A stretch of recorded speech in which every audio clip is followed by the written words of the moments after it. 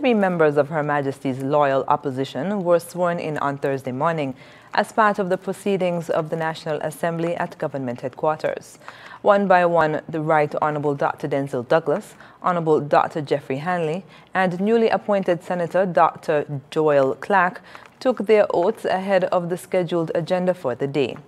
Thursday's session included the first and second reading of the Anti-Proliferation Financing of Weapons of Mass Destruction Bill and miscellaneous amendments Financial Action Task Force Bill.